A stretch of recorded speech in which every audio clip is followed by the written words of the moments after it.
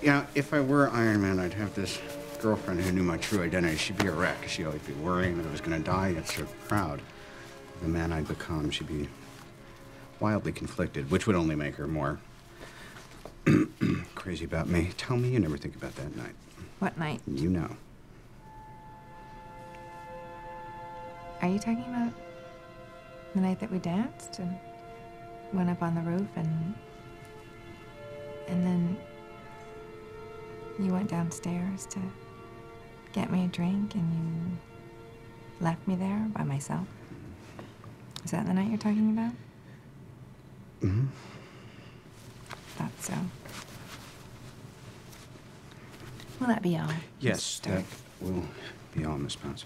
And now Mr. Stark has prepared a statement. He will not be taking any questions. Thank you.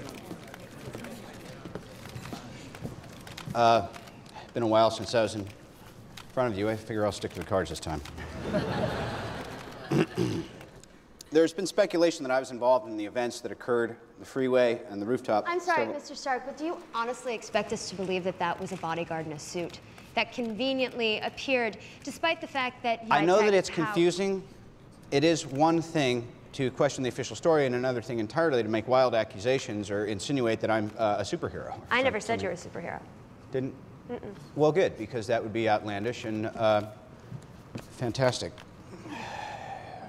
I, I'm just not the, the hero type, clearly, with this uh, laundry list of character defects, all the mistakes I made, largely public. Yeah, okay. Yeah. Truth is,